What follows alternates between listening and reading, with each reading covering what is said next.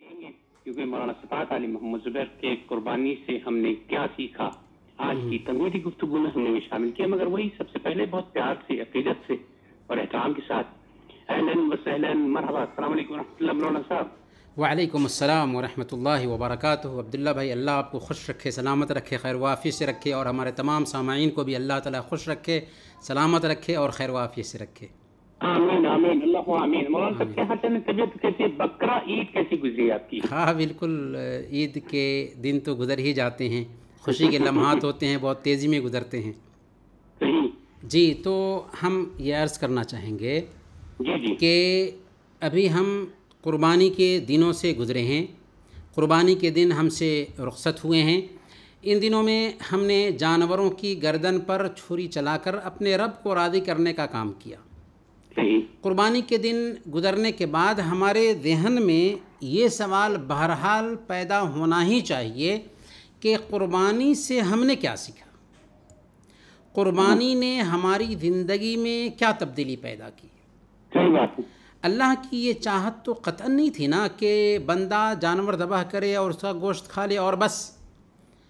कुर्बानी में जो हमतें और मसलहतें पाई जाती हैं वो किस हद तक हमारी ज़िंदगी में आई हैं? आइए आज हम देखते हैं कि कुर्बानी की इस अदीम इबादत से हमने क्या सीखा। कुर्बानी से सबसे पहले हमने सीखा कि हम मुखलिस और मुआहिद बनेंगे। यानी हम अपने हर अमल में अखलास पैदा करेंगे हमारे दिलों में तकवा की कैफियत पैदा होगी हम तोहद के अलम्बरदार बनेंगे। हमारा दिल शिरक से रियाकारी से दिखलावे से बिल्कुल पाक और साफ़ होगा। अल्लाह ताला ने फरमाया लैनाल लहूमहा वला दिमाहा वला तकवा मिनकुम। सुन लो अल्लाह ताला को तुम्हारी कुर्बानियों के गोश्त नहीं पहुँचते और नहीं उनके खून पहुँचते हैं मगर तुम्हारे दिलों का तकवा पहुँचता है। गोया कुर्बानी के दिन अल्लाह को ये मकसूद नहीं है कि हम जानवरों का खून बहाएँ और गोश्त खाएँ और बस बल्कि इसके ज़रिया अल्लाह ताला हमारे दिलों में तकवा पैदा करना चाहता है इखलास और लिल्लाहियत पैदा करना चाहता है। हमारे दिलों में ये एहसास पैदा करना चाहता है कि हम अपने रब के लिए हैं और हमारी कोशिशों का महवर अपने रब की रदामंदी और उसकी खुशनुदी होना चाहिए। कुर्बानी से हमने सीखा है कि हम माहिद बन जाएँ और हर तरह के शिरक से दूर हो जाएँ। कुर्बानी करते हुए हम ये आयत पढ़ते हैं जब हम जानवर को दबा करते हैं तो उससे पहले ये आयत पढ़ते हैं, जिसका मफाद है, कुल इन सलाती व नसुकी व महिया व ममाती लिल्लाह रब्बिल आलमीन, ला शरीक लहू व बेदालिक उमिरत व अना अव्वलुल मुस्लिमीन। आप फरमा दीजिए कि यकीन मेरी नमाज़ और मेरी कुर्बानी और मेरा जीना और मेरा मरना, ये सब के सब खालिस अल्लाह रब्बुल आलमीन के लिए है, जो सारे जहाँ का मालिक है, उसका कोई शरीक नहीं और मुझे इसी का हुक्म हुआ है और मैं सब मानने वालों में से पहला हूँ। मेरी ज़िंदगी का मकसद तेरे दी की सरफरादी मैं इसीलिए मुसलमान मैं इसीलिए नमाजी। गोया के कुर्बानी मैं इसीलिए नमाज़। जी गोया के कुर्बानी हमें ये सिखाती है कि हमारी सारी कोशिशें अपने रब को राज़ी करने के लिए ख़ास हो जाएँ। हमारी नमाज़ और हमारी सारी इबादतें हमारा जीना हमारा मरना सब अल्लाह के लिए हो जाए। ये कुर्बानी भी हो तो अल्लाह के लिए। अल्लाह के अलावा किसी और के लिए जानवर दबा करना शिरक हो जाएगा। और अल्लाह की लानत है उस इंसान पर जो अल्लाह के अलावा किसी और के लिए जानवर दबा करता है। सही मुस्लिम की रवायत है अल्लाह के नबी सल्लल्लाहु अलैहि वसल्लम फरमाते हैं लान अल्लाह मन ज़बह लगैरिल्लाह। अल्लाह की लानत है ऐसे इंसान पर जो अल्लाह के अलावा किसी और के लिए जानवर ज़बह करता है। दूसरे नंबर पर कुर्बानी से हमने सीखा है कि हमारा वही अमल काबिल कबूल है जो अल्लाह के नबी सल्लल्लाहु अलैहि वसल्लम के उसवा और तरीक़ा के मुताबिक हो। हमने कुर्बानी में नबी सल्लल्लाहु अलैहि वसल्लम के उसवा को कदम कदम पर बरता है। यहाँ तक कि ईद की नमाज़ से पहले हमने कुर्बानी नहीं की। एक सहाबी ने ईद की नमाज़ से पहले कुर्बानी कर ली थी। अल्लाह के नबी सल्लल्लाहु अलैहि वसल्लम ने उस सहाबी से कहा शातो का शातो लहमिन, नमाज़ से पहले तुम्हारा जानवर दबा करना ये सिर्फ़ गोश्त खाना है कुर्बानी नहीं है। गोया कि कुर्बानी असल में अल्लाह के नबी सल्लल्लाहु अलैहि वसल्लम के उसवा को अपनाने का नाम था। इस तरह हमें अपनी ज़िंदगी के हर शोबा में नबी करम सल्लल्लाहु अलैहि वसल्लम के उसवा को सामने रखना है। कोई भी अमल चाहे कितना ही अच्छा क्यों ना हो कितना ही अदीम क्यों ना हो अगर अल्लाह के नबी सल्लल्लाहु अलैहि वसल्लम के तरीक़ा के मुताबिक नहीं है तो मरदूद होगा। इसीलिए अल्लाह के नबी सल्लल्लाहु अलैहि वसल्लम ने इरशाद फरमाया मन अमिला अमलन लैसा अलैहि अमरना फ़हो रद्दुन। जिसने कोई ऐसा काम किया जो हमारे तरीक़े के मुताबिक नहीं वो मरदूद है। गोया कि क़ुरबानी ने हमें सिखाया कि हम अल्लाह के नबी सल्लल्लाहु अलैहि वसल्लम की उसवा को ज़िंदगी के हर मरहला में बरतने की कोशिश करेंगे। सही बात तीसरे नंबर पर क़ुरबानी से हमने सीखा है कि हमारी ज़िंदगी से हर तरह का ऐब निकल जाएगा। हर तरह की बुराइयाँ ख़त्म हो जाएँगी। हमने देखा कि ऐसे जानवर की क़ुरबानी मकबूल नहीं होती जिसमें ऐब पाया जाता हो। ऐसा है ना? ऐसे जानवर की क़ुरबानी मकबूल नहीं होती जिसमें ऐब पाया जाता हो। तो अब आप सोचें कि अगर हमारी ज़िंदगी में ऐब पाया जाता हो तो हम अपने रब की नज़र में मकबूल कैसे ठहर सकते हैं? इसलिए क़ुरबानी का ये सबक है कि हम अपनी ज़िंदगी के अयूब को बाहर कर दें। अपने दिल को शिरक से पाक कर लें, बिदअत से पाक कर लें, रिया नमूद से पाक कर लें, हसद से पाक कर लें, कीना कपट से पाक कर लें, शहवत से पाक कर लें, तकब्बर और घमंड से पाक कर लें, गफलत से पाक कर लें, दुनियावी लालचों से पाक कर लें तभी वाकई हमने क़ुरबानी का हक़ अदा किया। अल्लाह फरमाता है योम ला यनफ़ मालूम वला बनून इल्ला मन अतल्लाह बक़ल्बिन सलीम। क़यामत के दिन माल और औलाद कुछ काम ना आएगा लेकिन फ़ायदे में वही शख्स रहेगा जो अल्लाह के सामने बेऐब दिल लेकर आएगा। अब कितने अफसोस की बात होगी कि हम जानवरों में तो बेऐब तलाश करें लेकिन हमारी ज़िंदगी ऐब से भरी हुई हो। ऐसा नहीं होना चाहिए ना? सही बात है। चौथे नंबर पर क़ुरबानी से हमने सीखा है कि हम अल्लाह और उसके रसूल के अहकाम के सामने ख़ुद को झुका देंगे। आखिर क़ुरबानी क्यों की जाती है? ताकि हज़रत इब्राहीम अलैहिस्सलाम और हज़रत इस्माईल अलैहिस्सलाम की याद ताज़ा करें। अल्लाह का हुक्म आया कि अपनी बीवी और इकलौते बेटे को मक्का के ब्याबो गया, सरजमीन में, सनसान वादी में बसाएँ चुनानचे बसा दिया। हुक्म आया कि अपने बेटे को कुर्बान कर दें। बिला झिझक कुर्बान करने के लिए तैयार हो गए। इस्माईल सलाम ने भी रब के हुक्म के सामने सर झुका दिया।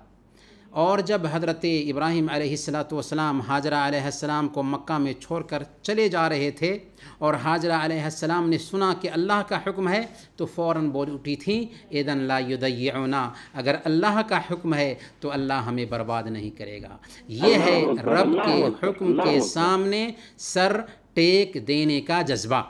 इब्राहीम अलैहिस्सलाम ने सर टेका इस्माईल अलैहिस्सलाम ने सर टेका, हज़रत हाजा अलैहिस्सलाम ने सर टेका। इस तरह हम कुर्बानी से सीखते हैं कि एक आदमी कामिल ईमान वाला उसी वक्त बन सकता है, जबकि वो अपनी तमाम ख्वाहिशात को अल्लाह के नबी सल्लल्लाहु अलैहि वसल्लम की लाई हुई शरीयत के ताबे ना कर दे। जब तक कि अपनी ख्वाहिशात को अल्लाह के नबी सल्लल्लाहु अलैहि वसल्लम की लाई हुई शरीयत के ताबे नहीं करता है तब तक कि वो कामिल ईमान वाला नहीं बन सकता क्योंकि इस्लाम इतात और सरेंडर करने का ही नाम है। फ़ला और रब ला युमिनून हत्ता युहक्किमू का फ़ीमा शजर बैनहुम थुम्मा ला यजिदू फ़ी अनफुसिहिम हाजम मिम्मा क़दैत व युसल्लिमू तस्लीमा। कसम है तेरे रब की वो ईमान वाले हो ही नहीं सकते जब तक कि अपने आपस के तमाम मामलात में ए नबी आपको हाकिम न मान लें और आप जो फ़ैसला कर दें उसको खुशी से कबूल ना कर लें और अपने दिल में किसी तरह की तंगी महसूस ना करें। अल्लाह के नबी सल्लल्लाहु अलैहि वसल्लम ने भी फरमाया, ला युमिनु अहादुकुम हत्ता यकून हवाहु तबहन लिमा जितु बिही कि तुम में से एक आदमी उस वक्त तक कामिल ईमान वाला नहीं हो सकता जब तक कि उसकी ख्वाहिशात मेरी लाई हुई शरीयत के ताबे न हो जाए। गोया कि अल्लाह और उसके रसूल ने जिन कामों का हुक्म दिया है उन्हें करना और जिन कामों से रोक दिया है उनसे अपने आप को रोक लेना ही कुर्बानी की मांग है और उसका तकादा है। अल्लाह के रसूल सल्लल्लाहु अलैहि वसल्लम ने पाँच वक्त की नमाज़ों का हुक्म दिया है ज़क़़त देने का हुक्म दिया है रोज़ा रखने का हुक्म दिया है हज का हुक्म दिया है। तो क़ुरबानी की मांग यह है कि हम नमाज़ों की पाबंदी करें ज़क़़त दें रोज़े रखें और ज़िंदगी में एक मरतबा हज करें। अल्लाह और उसके रसूल ने जुल्म से मना किया है सूद से मना किया है जना से मना किया है नशावर चीज़ों से मना किया है रिश्वत से मना किया है हराम खोरी से मना किया है। क़ुरबानी की मांग यह है कि हम इन तमाम बुराइयों से अपने आप को बचा लें। पाँचवें नंबर पर और ये आखिरी नुक्ता होगा कि हमने सीखा है कि हम गरीबों और मिसकीनों का ख्याल रखेंगे। क़ुरबानी से हमें ये सबक भी मिला है ज़रूरतमंदों की हम मदद करेंगे, क़ुरबानी से हमें ये सबक मिला है। हाजतमंदों के काम आएँगे, क़ुरबानी से हमें ये सबक मिला है। अल्लाह रब्बुल आलमीन ने क्या फ़रमाया क़ुरबानी के गोश्त के बारे में? फ़कुलु मिनहा व अतमुल्क़ान या वलमतर कि क़ुरबानी के गोश्त से ख़ुद भी खाओ और उनको भी खिलाओ जो क़नात किए बैठे हैं और उनको भी खिलाओ जो अपनी ज़रूरत पेश करें। चुनानचे हमने गोश्त ख़ुद भी खाया, दोस्तों अहबाब को खिलाया और गरीबों और मिसकीनों में भी बाँटा। क़ुरबानी की ये मांग है कि हमारी रविश बन जानी चाहिए कि हम हर वक्त गरीबों के काम आएँ। और करोना वायरस की वजह से आज बहुत से लोगों की नौकरियाँ चली गई हुई हैं, खाने पीने की दिक्कत है। ऐसे वक्त में अगर अल्लाह ताला ने हमें खुशहाल रखा है, हमारी माली हालत ठीक रखी है तो अब हमारी ज़िम्मेदारी बनती है कि हम उन भाइयों के काम आएँ जिनकी माली हालत ठीक नहीं है। बात। है ये थे क़ुरबानी के चंद अहम इसबाक जिनका ख़ुलासा ये है कि क़ुरबानी ने हमें सिखाया कि हम इस्लाम में पूरे तौर पर दाखिल हो जाएँ। या अय्युहल्लदीना आमनुदखुलू फिस्सिल्म काफ़ा वला तत्तबिउ खुतवात शैतान मुबीन। ए ईमान वालो तुम पूरे के पूरे इस्लाम में दाखिल हो जाओ और शैतान की पैरवी ना करो वो तुम्हारा खुला दुश्मन है। इसलिए आइए हम ये अहद करते हैं कि जिस तरह हमने क़ुरबानियाँ की हैं ठीक उसी तरह हम शरीयत की ताबेदारी भी करेंगे। अपनी ज़िंदगी अल्लाह और उसके रसूल के हुक्म के मुताबिक गुजारेंगे। शैतान के तमाम हरमों को नाकाम बना देंगे। समाज के बातिल रस्म व रिवाज को छोड़ देंगे। नमाज़ों की पाबंदी करेंगे कुरान की तिलावत करेंगे ज़िक्र का अहतमाम करेंगे अच्छे अखलाक का पैकर बनेंगे बुरे अखलाक से दूर रहेंगे।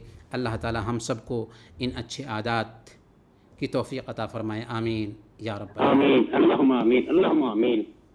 बड़ी वजाहत के साथ बयान कर रहे थे कुर्बानी से हमने क्या सीखा। हमने क्या सीखा? सर एक छोटा सा वक्फा लेंगे। वक्फे के बाद दोबारा से वापस आएँगे। तो मौलाना साहब से कुछ सवाल भी करने हैं और हमारे टेलीफोन लाइन्स भी खुली अगर आप चाहें तो फ़ोन करके हमसे बात भी कर सकते हैं। मौलाना साहब से सवाल भी कर सकते हैं। मगर हम एक छोटा सा वक्फा, वक्फे के बाद दोबारा वापस आएँगे। तो हम मौलाना साहब से कुछ सवाल करेंगे। इस्तकबाल है रेडियो कोइट उर्दू सर्विस में और प्रोग्राम हमारा जारी है सिफात अली मोहम्मद जुबैर बातें जिनसे ज़िंदगी संवरती है। वहाँ से सवाल की तरफ़ चलते हैं थोड़ा सा एक दो तो दो चार सवाल हैं मेरे पास बहुत आसान आसान से हैं। हम्म, एक तो ये है कि बचपन में हमारा किसी का अगर अकीका नहीं हुआ है हम्म। और क्या वो कुर्बानी की गोश्त के साथ या कुर्बानी के साथ वो कुर्बानी हो जाएगी? फिर अकीका और कुर्बानी दोनों एक साथ कर दे तो।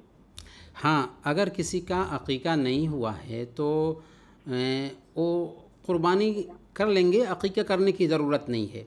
रही बात कुर्बानी की तो अल्लाह के नबी सल्लल्लाहु अलैहि वसल्लम ने कुर्बानी के हवाले से फरमाया कि कुल्ल ग़ुलाम मुर्तहन बेअक़ीक़ती ही तुदबहन हो योमसाबी व युसम्मा व युहलक रासो कि हर बच्चा अपने अकीका के साथ गिरवी होता है। सातवें दिन उसका अकीका किया जाए, उसका नाम रखा जाए और उसके सर के बाल हल्क किए जाएँ।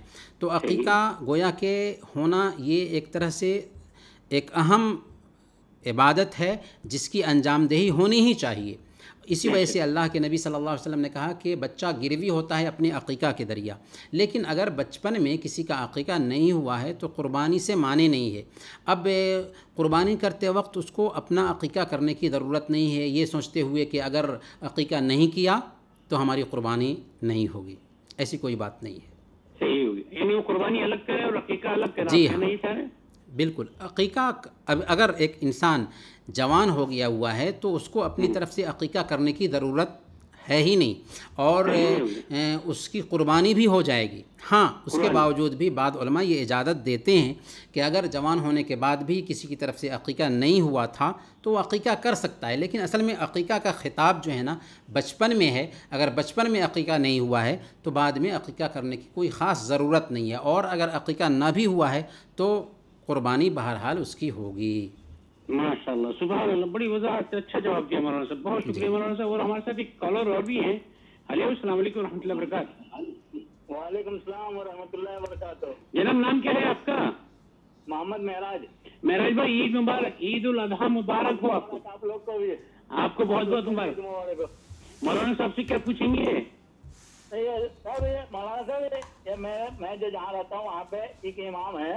इमाम साहब जब नमाज़ पढ़ाते हैं नमाज़ पढ़ाने के समय में एक बच्चे को साइड में खड़े करके दस साल का लड़का है उसको साइड में खड़े करके उसके बाद नमाज़ पढ़ाते हैं एक ही मुसल्ला पे। क्या वो क्या क्या हद तक जायज़ है जी। मेरा साहब हम आपसे अर्ज़ करेंगे कि अगर बच्चा दस साल का है तो उसको भी नमाज़ पढ़ना है क्योंकि अल्लाह के नबी सल्लल्लाहु अलैहि वसल्लम की हदीस है। बाजू में ये एक ही मसला पे इमाम हाँ, है। ठीक है, ठीक है। हम हम बता रहे हैं हम बता रहे हैं। हम हम बता रहे हैं ध्यान दीजिए आप। अगर बच्चा अगर बच्चा सात साल का हो जाता है तो वो नमाज़ का मुखातब है। और माँ बाप को हुक्म है कि उनको नमाज़ का हुक्म दे। इसी वजह से सुन्न बिदाऊद की रवायत है, अल्लाह के नबी सल्लल्लाहु अलैहि वसल्लम ने इरशाद फरमाया, मुरु औलादकुम बिस्सलात वहम अबना व सब सनीन, वदरबूहम अलैहा वहम अबना व अशिन व फ़र्रक़ू बैनहुम फ़िल मदाज। कि जब तुम्हारे बच्चे सात साल के हो जाएँ तो उनको नमाज़ का हुक्म दो और दस साल के हो जाएँ और नमाज़ ना पढ़ते हों तो उनकी पिटाई करो और उनके बिस्तर को अलग कर दो। तो ऐसी हालत में अगर कोई इमाम है उसका बेटा है तो बहरहाल को चाहिए कि अपने बेटे को नमाज़ का हुक्म दे। अगर उसके साथ में वो भी नमाज़ पढ़ रहा है तो कोई हरज की बात नहीं।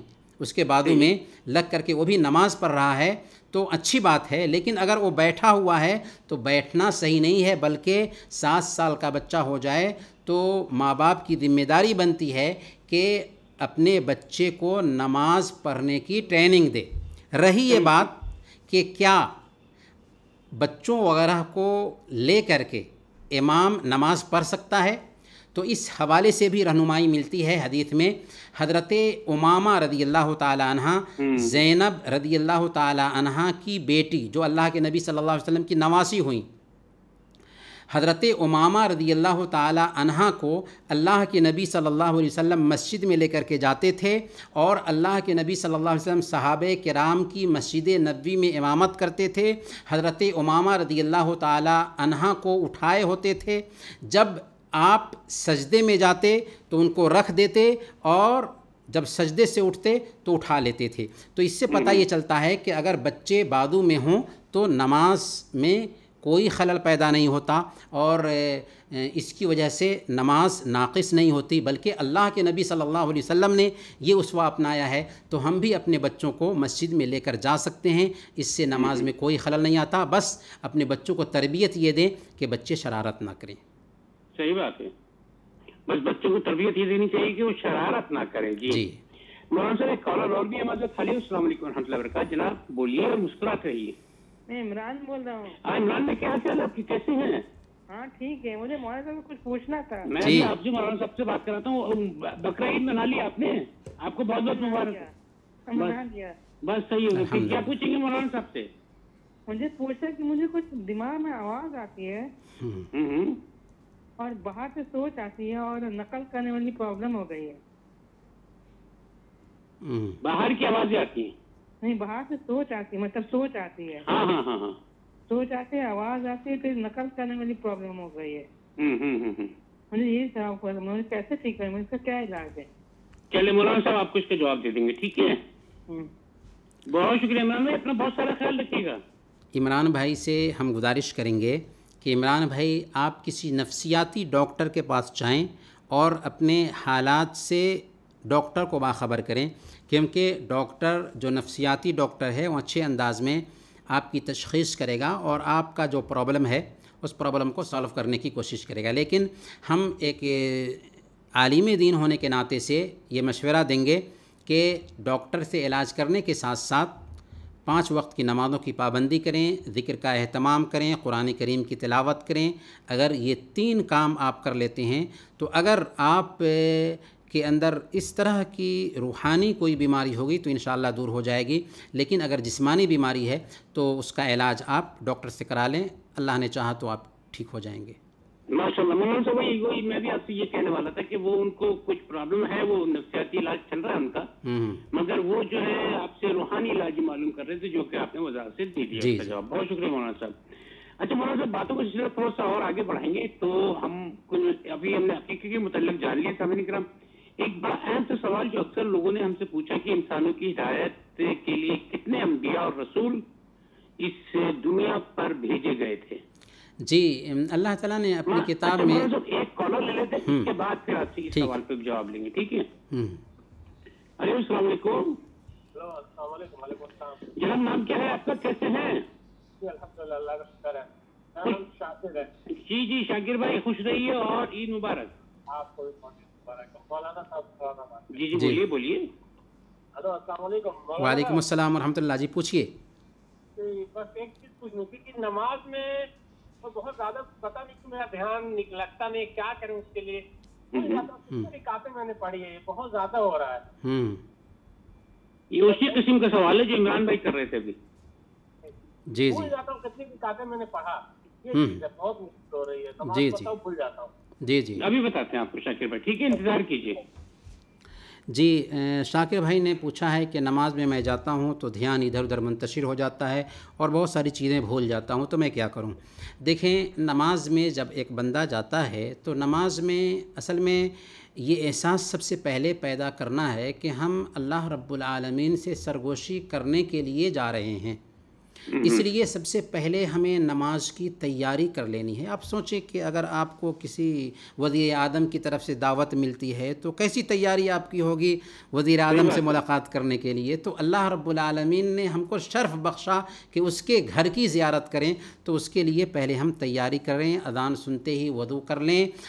और फिर अच्छा लिबास पहन करके, साफ़ सुथरा लिबास पहन करके मस्जिद का रुख करें। मस्जिद में जाने के बाद में सुन्नत वगैरह पढ़ लें। अगर सुन्नत का वक्त नहीं है तो तहीतुल मस्जिद पढ़ लें और नमाज़ के इंतज़ार में बैठें। हदीत में आता है कि फ़रिश्ते दुआ करते रहते हैं कि अल्लाह मगफिर लहू अल्लाह मरहम हो। ए अल्लाह इसे माफ़ फरमा दे, ए अल्लाह इसके ऊपर रहम फरमा। और जब इकामत कही जाए तो हम सबसे पहले अपने जहन में ये बात बैठाएँ कि हम जब अल्लाह अकबर कह रहे हैं तो उसका माना और मफहम क्या है? अल्लाह अकबर का मतलब है अल्लाह सबसे बड़ा है। दुनिया की सारी हस्तियाँ हमारी पीठ के पीछे हैं। अल्लाह रब्बुल हमारे सामने में है जिससे हम मुनाजात करने के लिए सरगोशी करने के लिए बात करने के लिए हम इकट्ठा हैं। अगर ये एहसास पैदा होगा तो अजीब तरीक़े से हमारी नमाज़ में खुशू पैदा होगा। उसी तरीके से जैसा कि हमने कहा कि हम अपने अंदर ये एहसास लाएँ कि हम वाकई अल्लाह रब्बुल आलमीन से बात कर रहे हैं और अल्लाह रब्बुल आलमीन हमारी बात का जवाब भी दे रहा है। हदीस में आता है, अल्लाह के नबी सल्लल्लाहु अलैहि वसल्लम ने इरशाद फरमाया इन अहदकुम इदा कान युसल्ली फ़इन्नमा युनाजी रब्बह, फ़लयनदुर अहदकुम कैफ़ युनाजी। तुम में से एक आदमी जब नमाज़ पढ़ता है तो वो अपने रब से सरगोशी कर रहा होता है। इसलिए तुम में से एक आदमी गौर करके देख ले कि वो कैसे अपने रब से सरगोशी कर रहा है। अब्दुल्ला भाई मैं आपसे बात कर रहा हूँ। आप हमारे सामने में हैं आप हमारी बात सुन रहे हैं। अगर मैं मुँह फेर लूँ तो आपको कैसा लगेगा? तो बिल्कुल वैसे ही अल्लाह रब्बुल आलमीन के सामने में हम हाजिर हैं। अल्लाह रब्बुल आलमीन हमें देख रहा है। अल्लाह रब्बुल आलमीन ने अपना चेहरा हमारे चेहरे पर जमा दिया हुआ है और हमारी बातों का जवाब दे रहा है। तो हमारे अंदर लापरवाही नहीं आनी चाहिए। हमें ये एहसास पैदा करना चाहिए कि अल्लाह रब्बुल से हम गुफ्तगू कर रहे हैं। उसी तरीके से तीसरा नुक्ता अहम नुक्ता है जो जो ध्यान में रखना है नमाज़ में कि हम जब नमाज़ में जाएँ तो जाने से पहले नमाज़ की दुआएँ हमें याद हों और उनके मानी भी याद हों।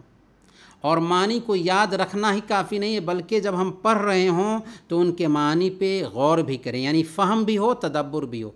समझ भी रहे हों और गौर भी कर रहे हों। जो भी दुआएँ हैं जो भी अदकार हैं जो भी सूरतें हैं उनके मानी को समझते भी हों और गौर भी कर रहे हों। अजीब तरीके से आपको नमाज़ में खुशू मिलेगा और वसवसा दूर होगा। अगर इसके बावजूद भी आपके जहन में वसवसा आता है तो चौथा तरीक़ा ये है कि आप अपनी नमाज़ की हालत ही में अपने बाएँ तरफ़ तीन मरतबा थूक दें। अल्लाह के नबी सल्लल्लाहु अलैहि वसल्लम से सही मुस्लिम की रवायत के मुताबिक हज़रत उस्मान बिन आस रदी अल्लाह तु ने शिकायत की थी कि नमाज़ में मैं जाता हूँ तो क़िरत इधर उधर हो जाती है, खलत मलत हो जाती है। और मैं नहीं समझ पाता कि मैं क्या पढ़ रहा हूँ। तो अल्लाह के नबी सल्लल्लाहु अलैहि वसल्लम ने फरमाया था, हज़रत उस्मान बिन आस रदी अल्लाह तु से कि दा का शैतान युकाल लहू ये शैतान है, नमाज़ का शैतान, जिसे खिनजब कहा जाता है। जब तुम ऐसा एहसास पाओ तो अपने बाएँ तरफ़ तीन मरतबा थूक दो और अऊदबिल्लिमिनशैतानरजीम कहो।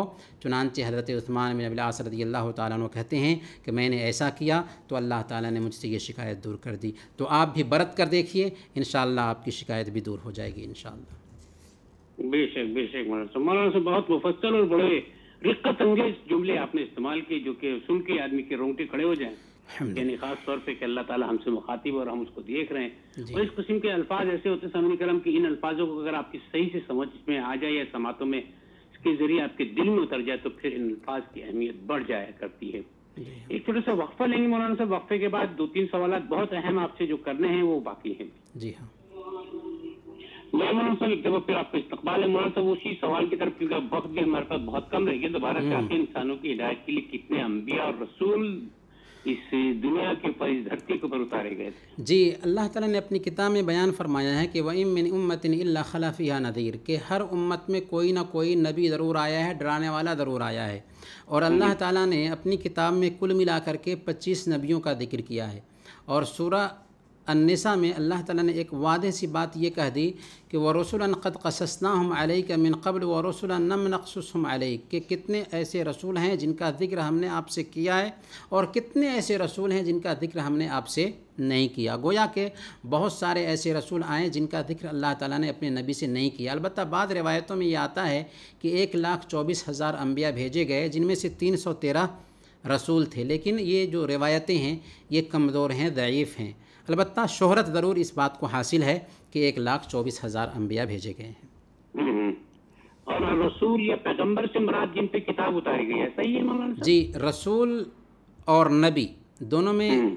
फ़र्क ये होता है कि रसूल वो होता है जिन जिनको नबूवत दी जाती है और उन पर किताब उतारी जाती है सही जी और नबी वो होता है जिनको नबूत दी जाती है और वो पहले ही रसूल की शरीयत को पहुँचाने के मुकल्लफ होते हैं। सही हो गया। अच्छा मौलाना साहब थोड़ा सा और आखिर में बस हमारे पास एक दो मिनट रह गए हैं तकरीबन दो मिनट रह गए। तो एक जो सबसे अहम सवाल है कर्ज देने की फजीलत और कर्ज लौटाने की अहमियत यानी देन कर्ज का लेन देन जो इसके बारे में ज़रा सी रोशनी डाल देंगे अगर मुख्तसरन जी कर्ज देने की बहुत अहमियत है। क्योंकि हम एक भाई की मदद कर रहे होते हैं और अल्लाह के नबी सल्लल्लाहु अलैहि वसल्लम ने बयान फरमाया कि जो आदमी किसी मुसलमान भाई की मदद करता है, कल क़यामत के दिन अल्लाह ताला उसकी मुसीबत को दूर करेगा। लेकिन कर्ज़ लेने के बाद कर्ज़ की अदायगी के हवाले से भी एक बंदे को बहुत ही संजीदा बनना चाहिए। क्योंकि अल्लाह के नबी सल्लल्लाहु अलैहि वसल्लम की हदीस है नफ्सुलमुमिन मुअल्लक़तुन बेदैनी हत्ता युक़दान के एक आदमी की जान उसके कर्ज़ की वजह से लटकी रहती है यहाँ तक कि उसके कर्ज़ की अदायगी ना करती जाए। यहाँ तक कि अल्लाह के नबी सल्लल्लाहु अलैहि वसल्लम ने एक आदमी के जनादे की नमाज़ नहीं पढ़ाई थी जिस पर कर्ज़ था यहाँ तक कि हज़रत अबू क़तादा रदी अल्लाह तु ने उसके कर्ज़ की अदायगी की ज़िम्मेदारी ले ली। तब अल्लाह के नबी सल्लल्लाहु अलैहि वसल्लम ने उसके जनादा की नमाज़ पढ़ाई और कल हो करके हज़रत अबू क़तादा रदी अल्लाह तु से पूछा कि तुमने अदा कर दिया या नहीं? जब उन्होंने कहा कि मैंने अदा कर दिया तब आपने फरमाया कि अलान बरत अलह जल्द हो कि अभी उसकी जल्द ठंडी हुई है। तो इससे हम कर्ज़ लेने की ख़तरनाकी का अंदाज़ा लगा सकते हैं कि कर्ज़ लिया, लेकिन अगर उसकी अदायगी नहीं कर रहे हैं तो अल्लाह के यहाँ सख्त पकड़ है। यहाँ तक कि अल्लाह के नबी सल्लल्लाहु अलैहि वसल्लम फरमाते हैं कि अगर कोई आदमी कर्ज़ लेता है और कर्ज़ की अदायगी के हवाले से संजीदा है तो अल्लाह ताला अदायगी की सबील पैदा फरमा देता है। अल्लाह के नबी सल्लल्लाहु अलैहि वसल्लम सही बुखारी की रवायत के मुताबिक बयान फरमाते हैं, मन अखद अमवालन्नास युरीद अदा अदल्लान वमन अखद युरीद इतलाफ़ा अतलफ़ल्ला कि अगर किसी का माल कोई आदमी लेता है और इरादा है अदा करने का तो अल्लाह ताला अदायगी की सबील पैदा कर देता है और जो आदमी दबाने की नीयत से लेता है अल्लाह ताला उसके माल को तल्फ कर देता है। अल्लाह ताला से हम आखिर में दुआ करते हैं कि अल्लाह आलमीन तो हम सब के मसाइल हल फरमा दे हमारे आलो औलाद की हिफाजत फरमा हम सबको ज़िंदा रखना तो ईमान पर ज़िंदा रखना वफ़ात देना तो ईमान पर वफ़ात देना वसल नबीना मोहम्मद वाला वसहबी अजमैन सर चीज़ हमारा आज का वक्त खत्म हो जाता है बीच में हाजिर हुए उस वक्त तक के लिए इजाज़त दीजिए